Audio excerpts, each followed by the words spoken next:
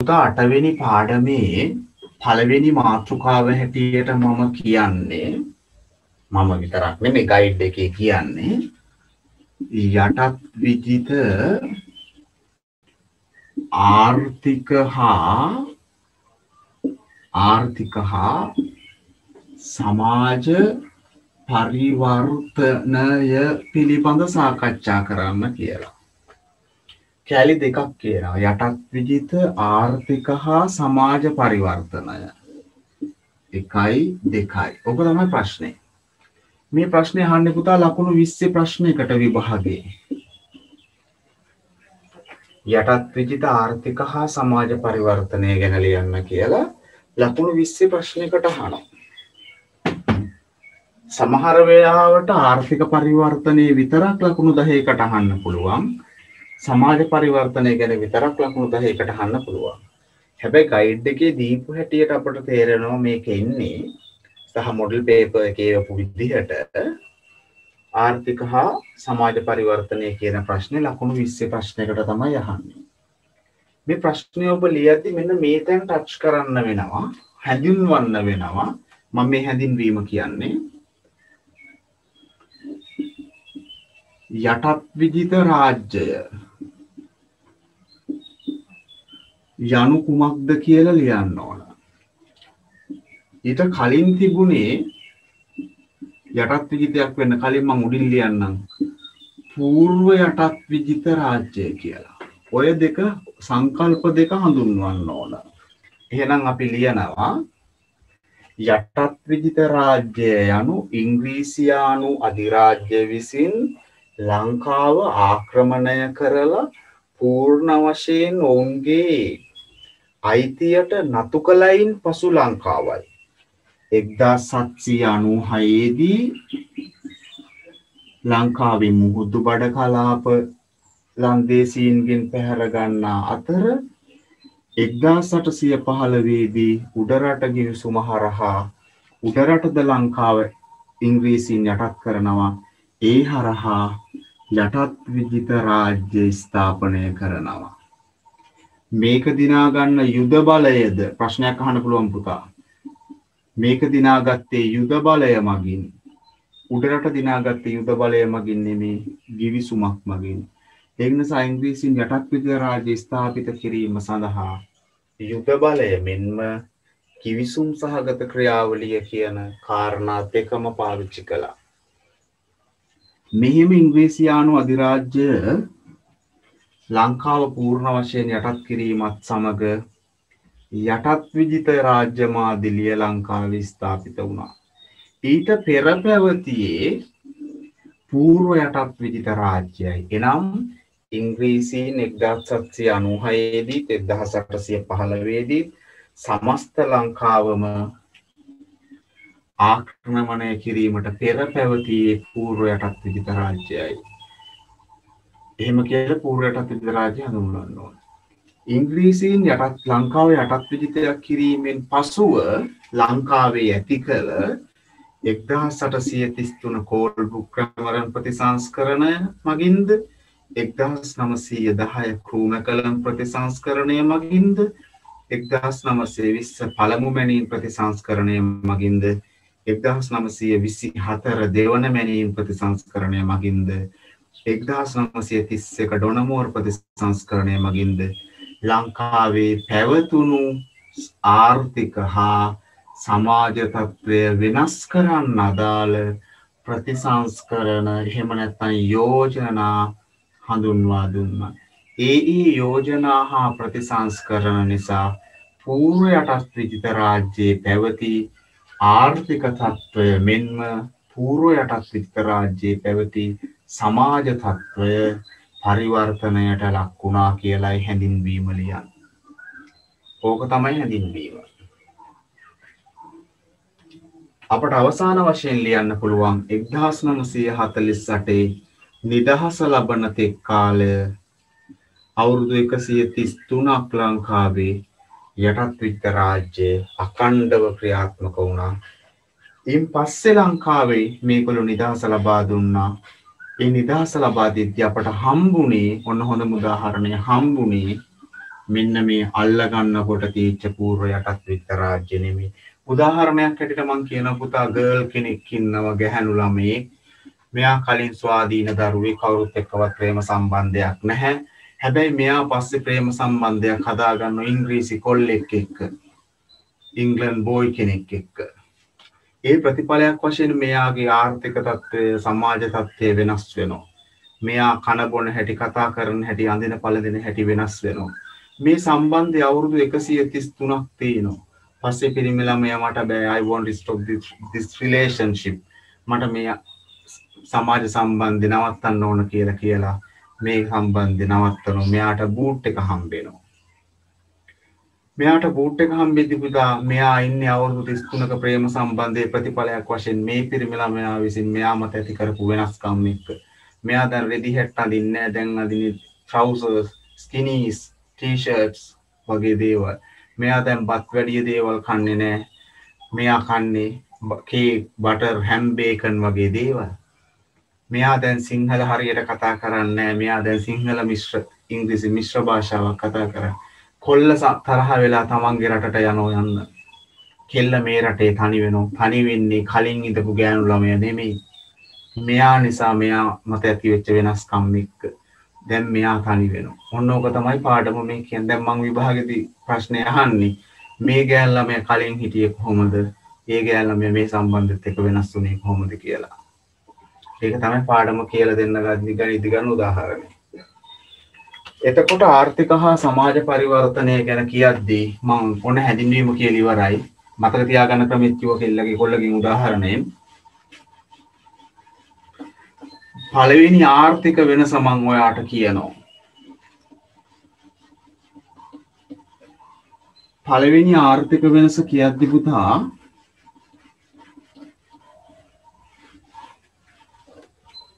මුල්ම ආර්ථික වෙනස මං ඔයාට කියනවා. කලින් මේ ගෑනු ළමයාට තිබුණේ පුතේ වැඩවසම් යැපුම් ආර්ථිකයක්.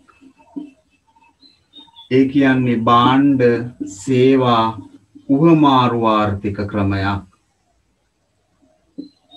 උහමාරු ආර්ථික ක්‍රමයක්. කලින් ලංකාවට තිබුණ එකන මේ ගෑල්ලමගේ ආර්ථික තත්වේ කොල්ල යාලුනහම බැලුව උහමාරු ආර්ථික ක්‍රමයෙන් ඇති පලක් නෑ. මට ඕන මේක පරිවර්තනය කරන්න ධනේශ්වර ආර්ථික ක්‍රමයක් දක්වා එනම් පූර්වයටත් විදිත රාජ්‍යය පැවතුණු වැඩවසම් යැකුම් ආර්ථිකය බාණ්ඩ හා සේවා උහමාරු කරගනිපු ආර්ථික ක්‍රමය ධනේශ්වර ආර්ථික ක්‍රමයක් බවට පත් කළා. ඒ ආර්ථික පරිවර්තනයක්. බාණ්ඩ සේවා මුදල් මත උහමාරු කරගන්න තැනකට ගෙනෑවා දැන් ගෑනුලා මේ වෙනස් වුණා. හරියට ලංකාව වෙනස් වුණා වගේ. ඒක ඇති කරන්න ඇද්දි යාලට පෙනුණා මේක ලංකාවේ කුල ක්‍රමයක් තියෙනවා. අනිවාර්ය රාජකාරී ක්‍රමයක් තියෙනවා. අනිවාර්ය රාජකාරී ක්‍රමය කියලා කියන්නේ ගොවිගම කරාව නවන්දන්න හුණු බෙරව රදා රොඩි ආචාරී වගේ වශයෙන් කුලපදනමක් තිබුණා. ඒ ගොවිය ගොවිකම් කරා කරාවවුම් මස් සැපෙව්වා බෙරවවුම් බෙරගැහුවා රොඩියවුම් සාත්‍රරෝමයව කරා රදා කට්ටිය රෙදි හෝදන වැඩ ටික කරා ආචාරී කියන කට්ටිය කම්මල් වැඩ කරා ආයුධ හැදුවා ආභරණ හැදුවා කුලේට අදාළ කාර්යන් තිබුණා. එතකොට මුදල් මත පදනම් වෙච්ච ආර්ථික ක්‍රමයක් ගොඩ නැගෙන්නේ නෑ. ඒක නිසා එක්දහසට සිය තිස්තුනේදී අනිවාර්ය රාජකාරී ක්‍රමය අහෝසි කරන පනතක් ගෙනෑවා. කෝල්බෘක් කැමරන් ප්‍රති සංස්කරණය මගින්. ඒක අහෝසි කල්ලා නිදහස් ශ්‍රමයක් ඇති කලා. ඒ ඇතිකරීමේ අරමුණ තමයි ඒගොල ලංකාව අලුතෙන් පටන් ගන්න වාණිජ වතුවගාවට කෝපි සින්කෝනා තේ රබර් පොල් වලට අවශ්‍ය ශ්‍රමිකයන් ලංකාවෙන් ලබාගන්න. එතකොට මේව ලංකාව ඇති කළ අනිවාර්ය රාජකාරී ක්‍රමය හෝසි කලා ඒක නිසා ලංකාවේ තිබුණු යැපුම් වැඩව සම්මාර්ථික ක්‍රමය බිඳ වැටිලා ධනේශ්වර ආර්ථික ක්‍රමයක් ආරම්භ වුණා වාණිජ වතුවගාව පදනම් කරගත්ත.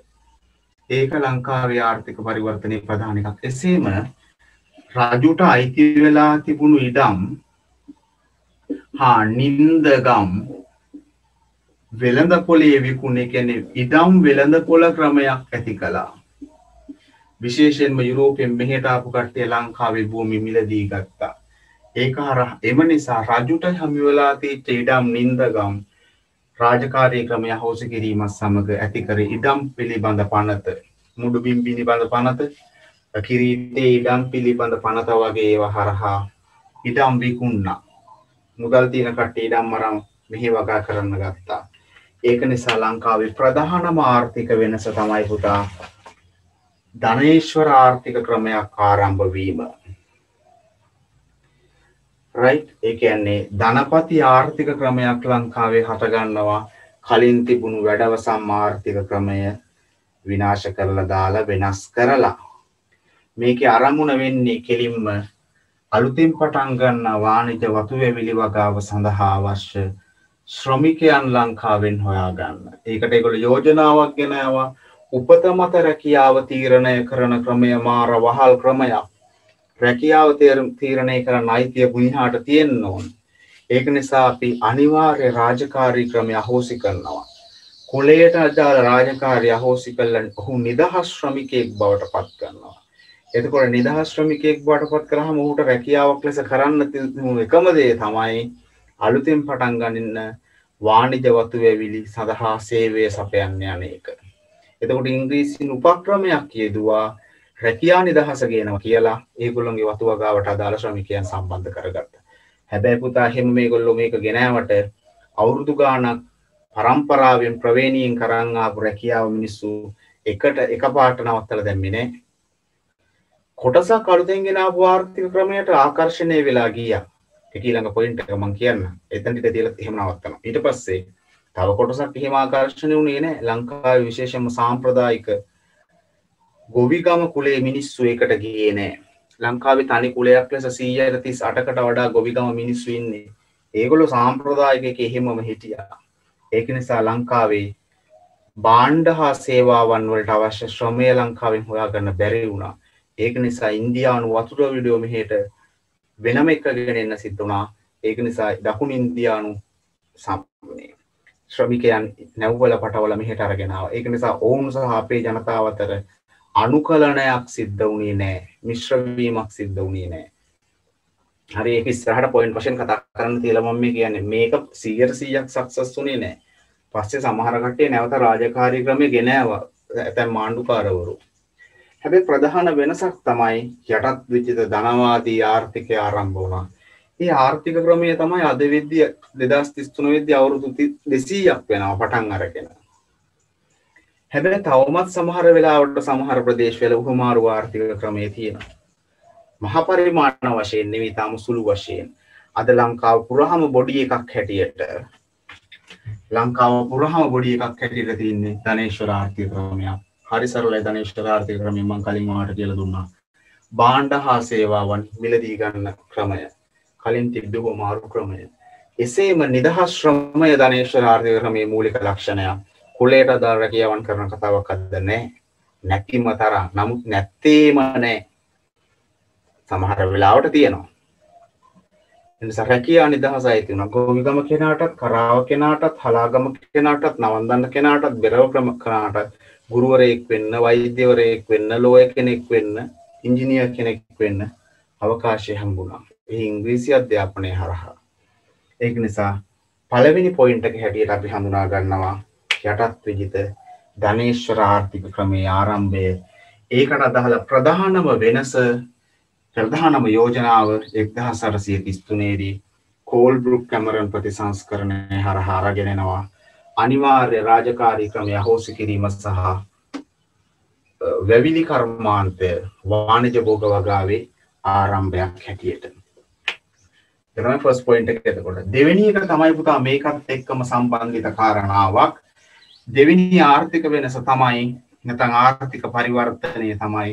ලංකාව මාර පොයින්ස් ටිකක් මේක තියන්නේ හරිද? මං පෞද්ගලික උගන්නන්න ආසම පාඩමක්. ලංකාව ලංකාව ගෝලීය වෙළඳ පොළත් එක්ක යා වෙනවා ගෝලීය වෙළඳ පොළ ආර්ථිකයත් එක්ක යා වෙනවා ලංකාවේ කෝපිවලට සින්කෝනාවලට තේවලට රබර්වලට පොල්වලට හොඳ වෙළඳ පොලක් ගෝලීයව හම්බෙනවා. එතකොට ගෝලීය ධනේශ්වර ආර්ථික ක්‍රමය සත්තන් ගෝලීය වෙළඳ පොළ ආර්ථික ක්‍රමය සහ ලංකාව යාවෙන්නෝ ආනයන අපනයනය කියන සීමා දෙක අතර නැත්තං ආයාත හා නිර්යාතාර්ථික ක්‍රමයක් වශයෙන්. ලංකාවේ පුතා දෙදස් විසියකෙත් පිටරට යවන ප්‍රධාන කෘෂිකාර්මික බාණ්ඩ බවට තේරබර් පොල් පත් වෙනවා. කෝපි අසාර්ථක වුණා එක්දහ සටසීය තිස් ගණන් වල වගේ ආරම්භ වෙලා වැඩිකල් යන්න උන්න හොඳ මාකට් එකක් හමුණට රෝගයක් හැදෙනමට රෝගෙන මේ වෙලා මතක් වෙන්න ඒ වෙනුවට සින්කෝනා කියන ආදේශකයක් වගා කරන එක ඖෂධයක් හැටියට තමයි කතා කරන්නේ. ඒකත් යම් කාලකදී අසාර්ථක වෙන පස්සේ තේරබර් පොල් වකා කළේ ඔකේ රටවලට යවනවා. ලංකාවෙන් පිටරට යවු බාණ්ඩ මොන බාණ්ඩද කෘෂිකාර්මික බාණ්ඩ මොන කෘෂිකාර්මික බාණ්ඩද ප්‍රාථමික කෘෂිකාර්මික බාණ්ඩ මේවායෙන් නිෂ්පාදනයක් කල්ල නෙමේ යව් ඒකයි ප්‍රාථමික කෘෂිකාර්මික බාණ්ඩ කියන්නේ. රබර්වලින් නිෂ්පාදන කරල යවනම් ප්‍රාථමික නෙමේ එකොට නිෂ්පාදිත බාණ්ඩය වන්නේ තේවලනුත් නිෂ්පාදනය කල්ල නෙමේ යව්වේ දේවල්. පොල්ලනුත් දේවල් නිෂ්පාදනය කලන පොල් ගෙඩි පිටින් යව ඒ නිසා කියනවමට ප්‍රාථමික කෘෂිකාර්මික බාණ්ඩ සපයන්නෙක් වශයෙන් ලෝක වෙළඳ පොළ ලංකාව හඳුනා ගන්නවා. මෙහි දේටි කෙනකල් ලෝකෙ බලන් ඉන්නවා. මෙහි කෝපිටි කෙනකල් ලෝකෙ බලන් ඉන්න ඒවට හොඳ ඉල්ලියුමක් හම්බෙනවා. එනිසා ලංකාවේ ආර්ථික ක්‍රමේ වෙනසක් පුතා ලංකාව ප්‍රාථමික කෘෂිකාර්මික බාණ්ඩ සපයන්නෙක් වශයෙන් ගෝලීය වෙළඳ පොළත් එක්ක ෆස් ටයිම් කනෙක්් වෙනවා. කොහේවත් තිබුණු ලංකාව සුද්දවිල්ල වාණජ බෝග වගා කරලා ගෝලිය වෙළඳ පොළත් එක්ක යා කල්ල දානවා. අප නයනය කරනවා ප්‍රාථමික කෘෂිකාර්මික බාණ්ඩේ හරහා. ලංකාවට මුදල් එනවා. විදේශ මුදල්. මේක දැකපු සුද්ද ලංකාව ඇවිල්ල බයනතු ආයෝජනය කරනවා. ඉදම් ගන්නවා තේවවනවා රබර් වවනවා පොල් වවනවා. සැහ ඉදම් විකුණනවා සුද්ද සුද්දොන්ට මේ වගා කරනවා නිසා ලොකු විදේශ විනිමයක් ලංකාවට ගලන්ගෙනවා ඒක නිසායි අපි කියන්නේ 1948 වෙදි ලංකාව එංගලන්තයට ණය දුන්න පුතා. සුළු පහ රටක් නෙමෙයි. ඉතා දියුණු රටක් ඉතා දියුණු මොඩල් එකක් බවට පත් වෙනවා. එංගලන්තයේ අයවැය හිඟේ පෙවන්න ලංකාවෙන් 1948 මුදල් දෙනවා එංගලන්තයට. ඉතා හොඳ ආර්ථික ක්‍රමයක්. 1970න් පස්සේ දිගටම ඇති වෙච්ච වංචාව නිසා 78න් පස්සේ අද ලෝකයේ පුතා අපි අඳුන ගන්නවා දෙදස් විසියකේදී ලංකාව ලෝකට නය රටක් හැටියට. උපදින්න ඇවුණුත් හොස්පිට්ල එකේදී නය රටක් බවට පත්වෙනවා එනම් දෙවැනි පොයින්ට එක තමයි ප්‍රාථමික කෘෂිකාර්ම බාණ්ඩ සපයන්නෙක් හැටියට ලංකාව ගෝලීය වෙළඳ පොළත් එක්ක යාවීම ලංකාවේ ඇති වෙච්චාර්ථික පරිවර්තනයක්. ඒ කර පලවෙනි එකත් එක්ක සම්බන්ධිත කාරණාවක්. හරි? තුන්වෙනි කාරණාවත් එසේමයි පුතා. ඔන්න තුන්වෙනි වෙන සමංවාට කියනවා. මේ ප්‍රතිඵලයක් වශයෙන් දේශීය ධනපති පන්තියක් ඇති වෙනවා. දේශීය ධනපති පන්තියක් ඇති වෙනවා. බලන්න ඒක තුන්වන පොයින්ට එක.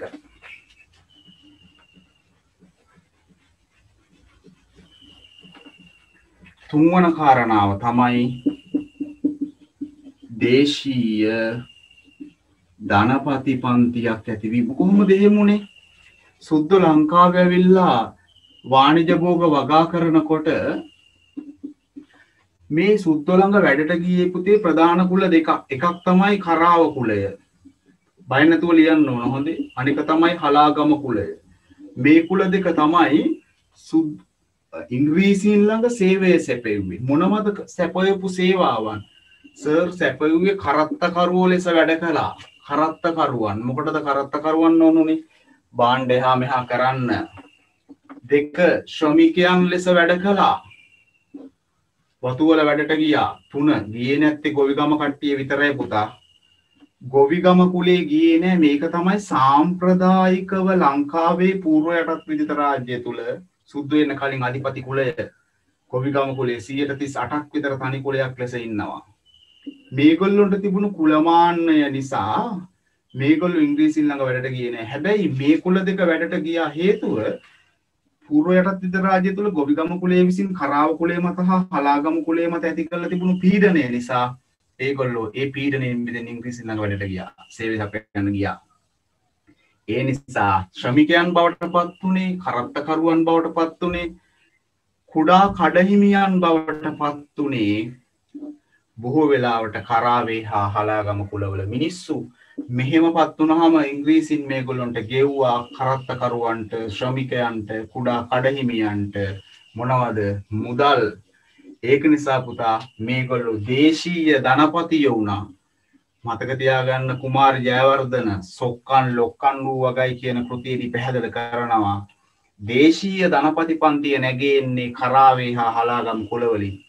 විශේෂයෙන්ම මොරටුව ගාල්ල වගේ ප්‍රදේශවල දේශීය ධනපතියෝ ටිකක් ඇති වෙනවා. ඉංග්‍රීසීන්ගෙන් මුදල් හම්බ කරගෙන. ඒගොල්ල පුතා ගොවිගම කුලයට වඩා ධනවත් වෙනවා. ගොවිගම කුලයට කුලමාන්නේ විතරක් ඉතුරු වෙනවා. කුල පරම්පරාව විතරක්. සල්ලිකාර කුල දෙකට බවට කරාව සහ හලාගම කුල පත් වෙනවා. ඒක නිසා දේශීය ධනපති පන්තියේ නැගීම යටත් විජිතාර්ථක පරිවර්තනය ප්‍රතිඵලයක්. දේශීය ධනපතියෝ සෑහෙන්න ප්‍රමාණයක් ඇති වෙනවා. හරි ඒක සුද්දන් විසින් හැබැයි අපේක්ෂා නොකළ එකක්. ඒගොල්ලො යටත් විජිත පරිවර්තන ලංකාව ඇති කරන්නේ මේ ලංකාවේ ධනපති පන්තියක් හදන්න හිතාගෙන නෙමේ හැබැයි උනේ මොකක්ද දේශීය ධනපති පන්තියක් බිහි වෙනවා හිතපුුවක් නැති කුල දෙකක් ඉහලට ඉස්ස වෙලා වෙනවා මේ කුල සල්ලි හම්බ කරගෙන ඉංග්‍රීසි අධ්‍යාපනය හරහා ඉංග්‍රීසි ගෙනගෙන පිටරට විශ්වවිද්‍යාලයට වලට කියල්ලා දැනුම ලබාගෙන ඉගෙනගෙන අවසානි ලංකාවට නැවත පෙරලා ඇවිල්ලා සුද්දන්ගෙන් දේශපාලන බලය පවා ඉල්ලන තැනට පත් වෙනවා. ඒක නිසා අපි තේරුම් ගන්න හෙනම් දේශීය ධනපති පන්තියක් ඇතිවීම යටත් විජත ආර්ථික පරිවර්තනයේ ප්‍රධාන ප්‍රතිඵලයක්. විශේෂයෙන්ම ප්‍රධාන කුලේ වෙච්ච ගොවිගම කුලේ කට්ටිය ඉංග්‍රීසි ළඟ සේවය සපයන්න ගියේ නැහැ. කරාව හා හලාගම කුලවල කට්ටිය ගියා. එහි ප්‍රතිඵලයක් වශයෙන් ඔවුන් කරත්තකරුවන් ශ්‍රමිකයන් කුඩා කඩහිමියන් බවට පත් වුණා පස්සෙ මේ ගොල්ලෝ ගොවිගම කුලේ කට්ටියත් බැඳට යම් යම් වශයෙන් එකතු වුණා ඒක නිසා මේ ගොල්ලෝ අරක්කුරේන්ද ඊට පස්සේ මිනිරං අරක්කු විකුණන අයිතිය මිනිරංවල් අයිතිය වගේ දේවල් ඒව බිස්නස් කරන්න පටන් අරන් අති විශාල ධනකුවේරයන් බවට පත් වුණා. ඒක නිසා අද ලංකාවේ ධනපතිය යනු එදා සුදු මහත්තරු ළඟ මෙන්න මේ සේවේ සපය කට්ටේ හැටියට තමයි අපට හඳුනාගන්න පුළුවන් වෙන්නේ. මේක සුද්දන් විසින් අපේක්ෂා නොකළ ප්‍රතිඵලයක් දේශීය ධනපති පන්තියක් ඇතිවීවී කියන ප්‍රතිඵලය ඒක ඊළඟ එක හැටියට හඳුනා ගන්න ඕන ඊළඟ වෙනස තමයි පුතාර්ථික වෙනස තමයි දැන් මම කිව්වා උත්තරාරෝපිතව ගෙනල්ලා ඒ වචන හිම්මම ලියන්න ඕන ධනේශ්වර ආර්ථික ක්‍රමය ලංකාවේ ඇති කළේ ප්‍රතිසංස්කරණ හරහා. ඒක නිසා ලංකාවේ දිත්වා ආර්ථිකයක් ඇති වුණා. ආර්ථික ක්‍රම දෙකක්. එකක් තමයි පුතා උත්තරාරෝපිතව උඩින්ගෙනැල්ල ඇතිකරපු ධනේශ්වර ආර්ථික ක්‍රමය. බාණ්ඩ සේවා මුදලට මිලදී ගන්නා ක්‍රමය. රැකියාවේ නිදහස තියෙන ක්‍රමය. අනික තමයි සාම්ප්‍රදායිකව අවුරුදු ගානක් කරමින් තිබුණු යැපුම් ආර්ථිකය. එක පාරට ලංකාව සුද්දවල්ල ගත්ත ගමන් සීයට සීයක් මේක ධනේශ ආර්ථික ක්‍රමී හැදුනේ නෑ. අදටත් සමහර ඇත ගම්බද ප්‍රදේශවල සිරිපාලගේ කුඹුර කොටන්න ගුණපාලත් ගුණපාලගේ කුඹුර කොටන්න සිරිපාලත් එන ශ්‍රමය මාරු කරගන්න මේ ගෙදර කොස්ති නවන අරගෙදර තිර අරගෙදරින් පොල්ලිල්ල ගන්න ඒවා අදත් චූල වශයෙන් තියෙන පොඩි පොඩි වශයෙන්. සද්දත් යම් යම් වශයෙන් උවමාරුව තියෙන බාණ්ඩ සේවාවල. හැබැයි එක්දහස් නමසීය අටසීය ගණන්වල සීයට සීයක්ම ලංකාවේ ධනේශ්වර ක්‍රමය ඇති වුණේ නෑ. ධනේශ්වර ක්‍රම උත්තරාරෝපිතයි. ලංකා පොළවේ හැදිච්ච එකක් නෙමේ ධනේශ්වර ක්‍රමේ නැමති බීජය පිටරටින් ගෙනල්ලා ඉන්දුවා ගහක් ලෙස හැදිද්දි ටික ටික හැදුණා. හැබැයි එකපාරට මුළු ගහම ලොකුනේ නෑ. ඒක නිසා මේ අලුත් ආර්ථික ක්‍රමයට ආකර්ෂණය නොවුණු අලුත් ආර්ථික පන්නයට එකඟ නොවුණු පිරිසක් හිටිය. මං කිව්වා විශේෂම ගොවිකම් කුලේ මිනිස්සු එතනට ගියේ නෑ කියලා. ඒගොල්ලෝ සාම්ප්‍රදායික යැපුම් ආර්ථිකය තුලම හිටියා. ඒක නිසා අපට පේනවා එකම බොඩි එක එකම බොඩි එකක එකම දේහයක ආර්ථික මාදිලි දෙකක් එකිනෙකට විරුද්ධ ආර්ථික මාදිලි දෙකක් ක්‍රියාත්මක වුණා. එකක් තමයි අලුතෙන් හඳුන්වා දීපු ධනේශ්වර ආර්ථික ක්‍රමය. අනික කාලයක් තිස්සේ ලංකාවේ නම් පැවතුණු යැප්පුම් ආර්ථික ක්‍රමය. එසකොට මේකට කියන්නේ දිත්ව ආර්ථික ක්‍රමය ලංකාවේ ක්‍රියාත්මක වුණා කියලා එකට හේතුව තමයි වාණිජවත්තුව ගාවට ආකර්ශණය නොවුණු පිරිස් ඒගුරුළඟ සේවය සපයන නොගිය පිරිස්. මංකුවන සීරසිය ඔක්කො මිනිස තැඳ කිය නෑ. අනිත් මිනිස් විදි නොකා මැරෙන්න ඒගොල්ලු කර කර ඉඳපු රක්ෂාව කර. ඒක නිසා මොකදුනේ දිත්තාර්ථය ක්‍රමයක් ලංකාව ක්‍රියාත්මක වුණා. මේගොලු අලුත් තාක්ෂණය යොදා ගනිමින් රේල් පාරවල් හදමින් දුම්රිය ලංකාවට ගෙනීමින් දුම්රිය පාරවල් හදමින් මොකද කළේ? ඒකට අදාළ සෑහෙන්න වෙනස්කම් කරන්න දාල අලුත් තත්වයන් මේ ඇති කර. එහෙම කරදි හොඳ ඉල්ලුමක් බාණ්ඩ හා සේවාවන් වලට විශේෂයෙන්ම කෘෂිකාර්මික බාණ්ඩවලට විදේශ වෙළඳ පොළ යාවා. එහෙමේදී අවශ්‍ය ශ්‍රමය නෑ අද තරම් තාක්ෂණ සූක්ෂම කර්මාන්තන මේ තිබුණේ කාලේ. ශ්‍රම සූක්ෂම කර්මාන්ත. එතකොට ඒ අවශ්‍යතාවය පුරවන්න තමයි පුතා ඉන්දියාවේ වතුද විල මිනිස්සු ටික මෙතැන්ට ගෙන්න්න ඕන වෙන්නේ. ලංකාවේ ශ්‍රමය මදි වෙච්ච නිසා. හරි මේක තව ආර්ථික පරිවර්තනයක්.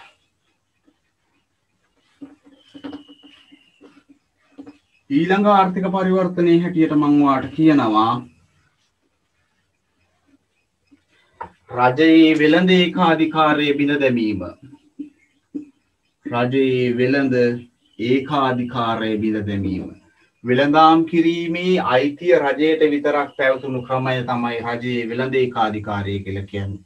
පෞද්ගලික ව්‍යවසායකයන්. පෞද්ගලික ව්‍යවසායකයන් නැති කරනවා. එකන්නේ පෞද්ගලිකව වෙළඳාම් කිරීමේ අයිතිය ඇති කරනවා. වෙළඳාම් කිරීමේ අයිතිය රජයට විතරයි නම් තිබුණේ. ඒකට කියන්නේ රජයේ වෙළඳ ඒකාධිකාරයක් තියෙනවා කියලා. රජයේ වෙළඳ ඒකාධිකාරය අහෝසි කළා දානවා. ඒක අහෝසි කිරීමේ ප්‍රධාන එක තමයි රාජකාරී ක්‍රම අහෝසි කිරීම කියන කාරණාව. එතකොට එක්දස් අර්සී තිස්තුනේදී මොකද කරේ? අර හඳුන්වා දුන්නු ආර්ථික නිදහසත් එක්ක රජයේ විලඳේකාධිකාරය අහෝසි කර. විශේෂයෙන්ම රජය ආර්ථිකයට සම්බන්ධුනේ නෑ පුතා. ඒ කියන්නේ ඇඩම් මිස්මිත්ගේ නිර්බාධවාදී රාජ්‍යමාදිලිය ලංකාව ක්‍රියාත්මක කලා ආරම් කළේ. කියන්නේ ධනේශ්වර ක්‍රමයේ මුල්මදියර තමයි නිර්බාධවාදී රාජ්‍ය ආර්ථිකයට බාධ නොකරන රාජ්‍යය ඒකට තමයි කියන්නේ රජයේ විල දේකාධිකාරය හෝසි කිරීම කියලා. රාජ්‍ය ආර්ථිකය පාලනකින් තොරෝතියන්ගේ එක්දහ සරසය තිස් තුනේ ඉඳලා එක්දහස් නමසේ තිස් එක දක්වා තිස් එකේදි තමයි පුතා සුභසාධන රාජ්‍ය කියන දෙවැනි මොඩල එකෙන්නේ ලංකාවට. එතනජ තමයි නිදහස් අධ්‍යාපනය ගෙන්නේ. නිදහස් සෞඛ්‍ය ගෙන්නේ. එක්දහස් නමසේ හැත්ත අටේදි තමයි පුතා අවම රාජ්‍ය කියන තුන්වෙනි මොඩල එක ලංකාවට හඳුන්වල දෙන්නේ. එතකොට නිර්බාධවාදී රාජ්‍ය එක්දහස් අටසේ තිස්තුනේදී සුභසාධනවාදී රාජ්‍යයක් දහස් නම්සය තිස්ස එකේ බොනමෝර එකේදී අවම රාජ්‍ය අපි කතා කන්න ධනේශ්වරේ තුන්වෙනි කාර්තුව හැටියට හඳුනා ගන්නා අවම රාජ්‍යයක් දහ සම්සය හැත්තටේදී මේක තමයි ධනේශ්වර ක්‍රමේ මාදිලි තුන ලංකාව ක්‍රියාත්මක වෙච්ච හැටි. එන රජයේ වෙළඳ ඒ කාධිකාරය හෝසි කිරීම යනු රජය ආර්ථිකයට සම්බන්ධ නොවීන්න එක. රයි තාව වෙනසක් තමයි පුතා කලින් තිබුණේ නැති අලුත් බෙදුම් රේකාවක් ලංකාවේ ඇති වෙනවා.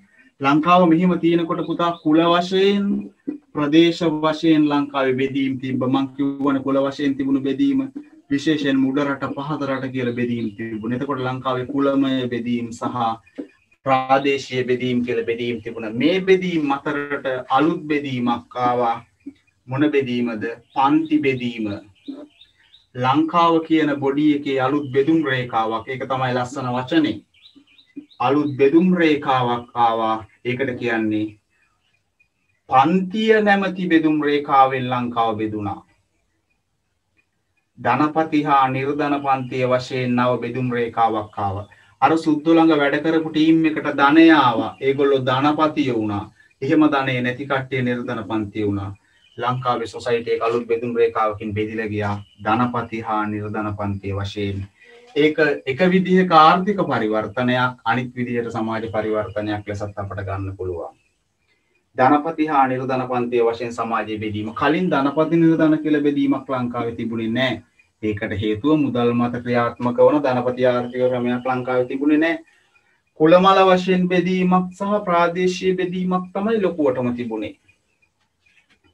ඒ වෙනට අලුත් බෙදුම් රේකාවක්කාවා ඒක ආර්ථික මෙන්ම සමාජ පරිවර්තනයක් ලෙස සලකන්න පුළුවන්. ඒ බෙදීම තමයි ධනපතියෝ හා නිර්තනය වශයෙන්. මේ බෙදීම එක්දහස් නමසය තිහ දශකේ තිහ තිස්සක වෙදදි සෑහෙන ප්‍රමාණයකට වැඩි වෙලා තිබුණා. දුප්පත් පන්තිය වැඩි වුණා. එක්දා සමසේ හැට පහේදී ජනතාව විමුක්ති පෙරමුණ හදන්න පුතා මෙන්න මේ නිර්ධන පාන්තිකින්ගේ රාජ්‍ය බලය අල්ලා ගැනීම අරමුණු නිසා. එක්දා සමසේ හැත්තේකේ නිර්ධන පාන්තික අරංගලය? පලවිනි අරංගල එක්දහස් නමසය අසුවට අසුනමේ ජනතාව විමුක්ති පෙරමුණ විසින් සංවිධානය කරපු නිර්ධන පන්ති ආඥාදායකත්වය ලබා ගන්න හදපු අර කාල්මාක්ස් කියපුම අපි පහුගේ දවස්සල කතා කරපු සමාජවාදී සමාජය හදන්න කරපු සමාජවාදී විප්ලවය තමයි එක්දහ සමසේ හැත්තකේදී සහසුවට අසුනමේදි කළේ ඒ කියන මෙන මෙතන ඇති වෙච්ච නිර්ධන පන්තියේ පීඩනයට තමයි ඒ පීඩන ඇති කරන තමයි හැත්ත එකයි අසුවට අසුනමය අරඟල සිද්ධ වෙන්නේ. සෑහෙන්න කාලයක් නිර්ධන පන්ති පන්තිය ධනපති පන්තිය විසින් චූරා කෑමී ප්‍රතිඵලය නිමා කරන්න. එනම් අලුත් බෙදුම් රේකාවකින් සමාජය බෙදීයාම ධනපති හා නිර්ධන පන්ති ලෙස සමාජය කොටස් දෙකට බෙදීම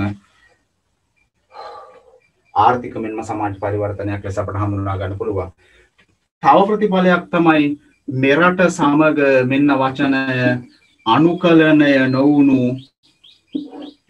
දකුණු ඉන්දයානු වන්ගේ පැමිණීම අදවෙද්දී වතුකරය තුළ නිද තේවතු වාශ්‍රිත වෙන්න වතු දෙමල ප්‍රජාව සයට සීයක්. දකුණු ඉන්දයානුවන්ගේ ආක්‍රමණ හරහා සිද්ධ වෙච්ච දෙයක්. ඇයි දකුණු ඉන්දයානු ලංකාවට එන්නේ? ආසාාවටද නෑ. ලංකාවේ ශ්‍රමිකයන් වශයෙන්. ඒගොල් එක්කන් ඉංග්‍රීසින් බොරු පොරොන්දු දීලා ඉඩම් දෙන්නම් වගේ කතන්දර පුරවැසි භාවය දෙන්නම් වගේ කතන්දර කියලා.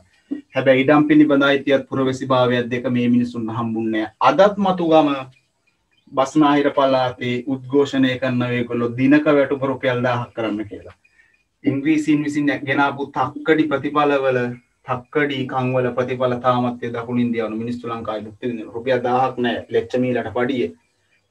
රොටියනු තේකුණු ජීවිත ගැට ගහ කරන්න මිනිස්සු බවට පත්වෙලා තියෙනවා.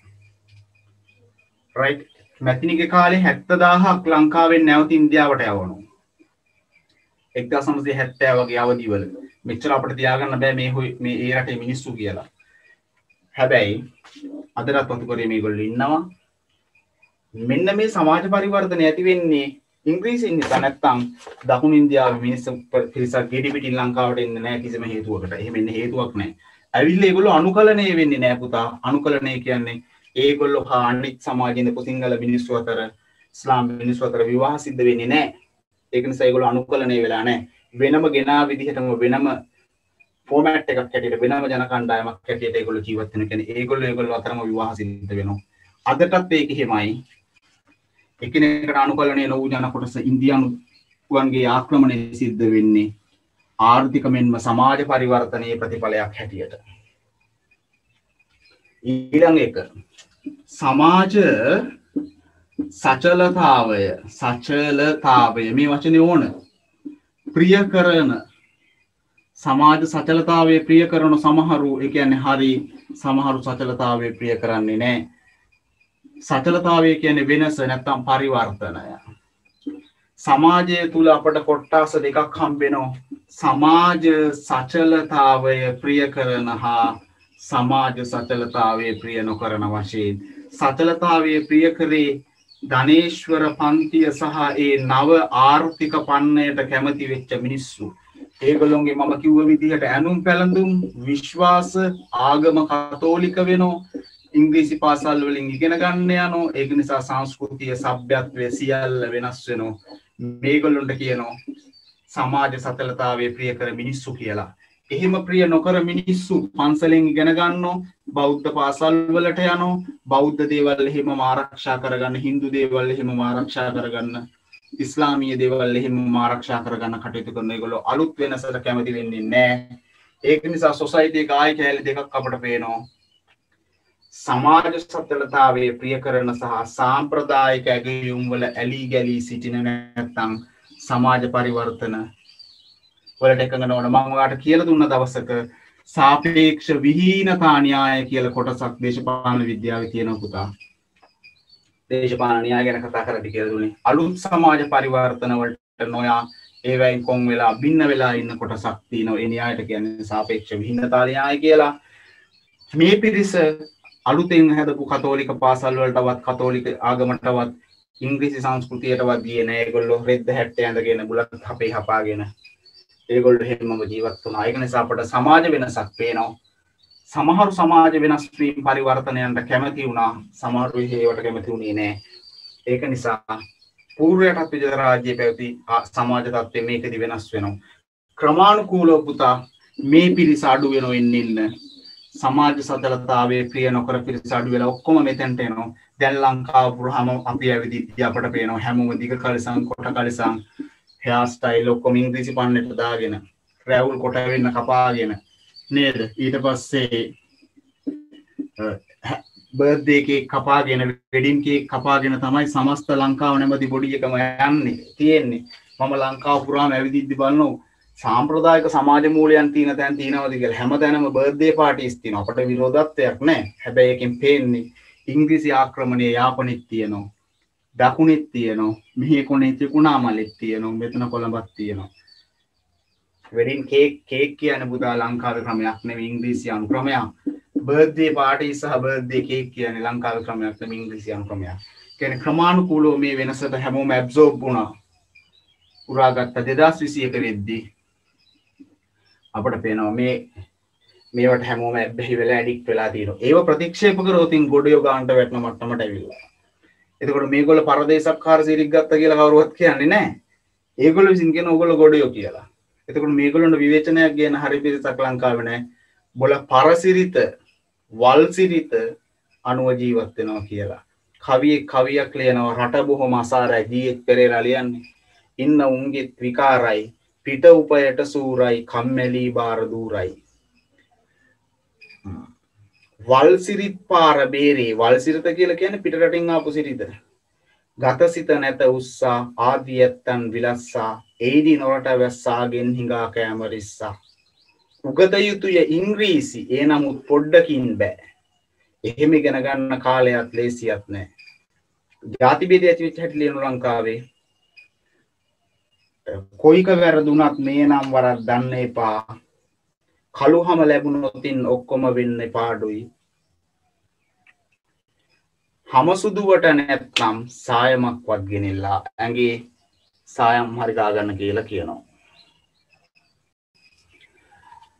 හරි පුතා ඒක නිසා සමස්තයක් විදිහට දැන්නම් මේ තත්ත්වය වෙනස් වෙලා හැබැයි යටත් විජිත රාජ්‍යදී අපට පේන දැන් අපි පශ්චාත්‍ය රත් විජිතත්වය වෙලා නිදහස ලබා ගත්ත නිසා නේද? සමාජ සත්‍යලතාවේ ප්‍රිය කරන හා ප්‍රිය නොකරන වශයෙන් සමාජය තුළ කොටස් දෙකක් ඇති වෙලා ඒක සමාජ පරිවර්තනයක් ලෙස ගන්න පුළුවන් පුතා. තව සමාජ පරිවර්තනයක් ලෙස අපට පෙන්වන්න පුළුවන්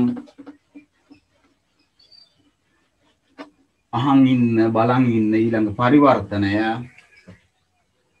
සමාජ කණ්ඩායම් වල හොඳින් තේරුම් ගන්න මේ වචන ඕන හොඳින්. මෙම ගයිඩ් එකේ කියන ඒවා සමාජ කණ්ඩායම් වල උඩුකුරු සචලතාවයක් ඇතිවීම මම පැහැදිලි කරන්නම් සමාජ කණ්ඩායම් වල උඩුකුරු සචලතාවයක්. කලින් උඩින් තිබ්බේ ගොවිගම කුලය. ඊට පස්සේ කරාව කුලය හලාගම කුලය. එක දෙක තුන ශ්‍රේණිගත කරෝති. පුතේ යටත් විදිධාක්‍රමණයට කලින් මෙහෙමයි තිබුණේ. ඉහළ කුලේ මේගොල්ලු අධිපතිධාරී කුලේ බවට පත්තුනේ දැන් යටත් විදිත පරිවර්තනයෙන් පස්සේ මොකදුනේ කරාව හලා ගම කියන කුල උඩට ඇවිල්ලා ඒගොල් ඉස්මතු වුණා. මෙහෙට ඇයිඒ ආර්ථික බලය හිමි පන්තිය බවට කරාව හා හලාගම පත් වුණා? ඒක නිසා ඒගොල්ලො සමාජයේ කැපී පෙනෙන කුල බවට පත් වුණා. කරාව සහලාගම ගොවිගම් කුලේට වඩා. ඒකයි කියන සමාජ කණ්ඩායම්වල උඩුකුරු සජලතාවයක් ඇතුුණා එකන මේ පොත්තියල තිබුණු ක්‍රමය අපි මේ පොත් ලෙස ගම්මු. මේ පොඩ්ඩක් වෙනස් වුනා මේවා යටට ගිහිල්ල යට තීච්ච පොත්තුරටාව විශේෂම හේතුව ආර්ථික බලය හිමි පන්තිය බවට කරාවෙන් සහහලාගමින් පත්වීම. රයි් එකට කියන සමාජ කණ්ඩායම් වල උඩුකුරු සචලතාවයක් ඇති වෙනවා. මොකද ධන උපායනය ධනය රැස්කර ගැනීම කියන කාරණාවේදී කරත් හිමියෝ ලෙස කුඩා කඩ හිමියෝ ලෙස වැඩ කරලා ඉංග්‍රීසින්ද ශ්‍රමය සපයලා එක ඒක රාශී කරගත් ඒකට ලස්සන වචනයක් කියන පුතා. ධන සමුච්චීකරණය. සමුච්චීකරණය කියන එකතු කර ගැනීම. අතින් මේගොලු ප්‍රබල වුණා. ඒක නිසා ඒ කුල කැපී පෙනෙන මට්ටමක් අපට දකින්න පුළුවන්. ඒක සමාජ පරිවර්තනයක් ලෙස ගන්න පුළුවන්. තව එකක් තමයි නූතන සිවිල් සමාජයට පදනම වැටුණා. නූතන සිවිල් සමාජයට පදනම. අද තියෙන සිවිල් සමාජයට පදනම වැටෙන්නේ යටත් විජිතුල දේකට ලොකුවෙන්ම බලපෑ එක්දා සරසය තිස්තුනි හඳුන්වාදීපු ඉංග්‍රීසි අධ්‍යාපන ක්‍රමය. අදින පාලදන හැටි සිතන පතන හැටි දේශපාලන නිදහස් සම්බන්ධයෙන් සියලු විශ්වාස ඉංග්‍රීසි අධ්‍යාපනය නැත්තම් බටහිර අධ්‍යාපනයත් එක් ඉස්සරහට අරගෙනවා එතකොට සිවිල් සමාජය කොටස් දෙකට බෙදල කියනව පුතා නූතන සිවිල් සමාජයට පදනම වැටීම එක්දහසරසය තිස්තුනේදී ඉංග්‍රීසියානු ආක්මේ අධ්‍යාපන ක්‍රමය හරහා සිද්ධ කරනවා. ඒගොල්ලො බොහොම ඉංග්‍රීසිවාදී බටහිර කරණයට නෑබුරුවේ අදහස් එක්ක ඒ සංස්කෘතියෙන් එක්ක ජීවත් වෙනවා. විදේශය විශ්වවිද්‍යාලවලට යනව අධ්‍යාපනය ලබන්න. එතකොල්ට එකලුන්ට පේනෝ මේ ලංකාවි තියෙන ආගම ජාතිය වර්ගය වගේ දේවල්ලට එහා ගිහිපු දේවල් ලෝකය තුළ තියෙන ඊට වඩා විවෘත ලෝකයක්. ඒක නිසා ඒගොල්ලො මෙහි ඇවිල්ලා නූතන සිවිල් සමාජය ආරම්භ කරන්න අදාළ අලුත් සංස්කෘතියක් ආරම්භ කරන්න අදාළ නවීකරණය ප්‍රිය කරන කොටසක් බවට පත්වෙනවා රයි් ඒක ඊළඟ පොයින්ට තමයි පුතා මූලාකෘති සිවිල් සමාජයට පදනම් වැටීම කියන එක. මේකට ආකර්ශණය නොවුණු කොටස මේ අලුත් සංස්කෘතිය බැහැර කර කොටස තමයි මූලාකෘති සිවිල් සමාජයට පදනම. ලේසි මූලාකෘති කියන්නේ මුල් ආකෘති ආරක්ෂා කරගන්න වෙනම කට්ටියක් සංවිධානය වෙනවා. ඒගොල්ලු ප්‍රාදේශීයවාදය ආගම්වාදය වර්ගවාදය වගේ සීමාවල ඉඳගන්න පන්සල පිරිවෙන හරහා අධ්‍යාපනය ලබාගෙන බෞද්ධ පාසල් හරහා ඉගෙනගෙන මූලාකෘති සිවිල් සමාජය රකින්න. ඒ කියන්නේ අලුත් සංස්කෘතිය විසින් තිබෙන සංස්කෘතිය වෙනස් කරගෙන යනකොට ඒ තීච්ච ආරක්ෂා කරගන්න මුල් තත්ත්වය රකින්න භාෂාව රැකගන්න ආගම රැකගන්න ජාතිය රැකගන්න සංවිධානය වෙනවා. ඒකට කියනවා මූලාකෘති සිවිල් සමාජය කර කුමාරතුන්ග මුනිදස්සල අරිසෙන් නහුබුදුලා එස් මහින්ද හිමිලා කවිලියල සාහිත්‍යය ගොඩනගන්න පියදාස සිරිසේනලා W සිල්වලා මූලාකෘති සිවිල් සමාජය ආරක්ෂා කරන්න. මැදිහත් වෙච්ච කටට අමතරව ටිබෙද්ජාත්මී මිගට මොහොට්ටිවත්තේ ගුණානන්ද හිමි වගේ කට්ටිය ඇවතිච්ච සාම්ප්‍රදායක සිවිල් සමාජය තත්වයන්ටි කරැක ගන්න ඒ ආර්ථික ක්‍රමේ සමාජ ක්‍රමේ හරපද්ධතිය රැක ගන්න වෙනම සංවිධානය වෙනවා. ඒකට තමයි කියන්නේ මූලාකෘති සිවිල් සමාජය ගොඩනැගීම කියලා. නැත්තම් ඒක හැදෙන්න පුතාර ඉංග්‍රීසියානු සංස්කෘතියට විරුද්ධ වෙන ඒ කල්චයකට විරුද්ධ වෙන කට්ටිය. ආරුමුගම් නාවර් හින්දු සංස්කෘතිය රැකගන්න වැඩ කරනවා.